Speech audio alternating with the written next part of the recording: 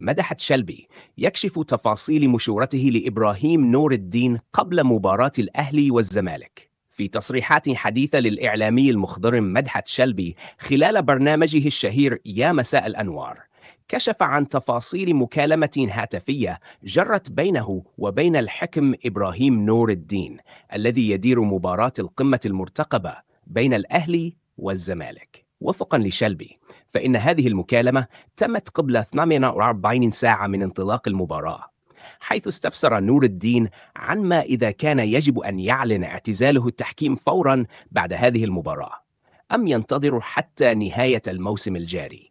وأوضح شلبي أنه نصح نور الدين بتأجيل قرار الاعتزال حتى نهاية الموسم. مشيرا إلى أن نور الدين يخطط للتحول إلى مجال التحليل التحكيمي في إحدى القنوات الفضائية بعد اعتزاله. وأضاف شلبي أن نور الدين يستشيره بشكل متكرر في قضايا تتعلق بمهنته ومستقبله المهني. في سياق متصل يضم فريق التحكيم للمباراة المرتقبة بين الأهلي والزمالك بالإضافة إلى إبراهيم نور الدين كحكم ساحة كلا من سامي هلهل وهاني عبد الفتاح كحكام مساعدين. وسيكون أحمد الغندور الحكم الرابع بينما يتولى محمد عادل مهام حكم الفيديو بمساعدة عاطف حسين ومحمود أبو الرجال كمساعدين له.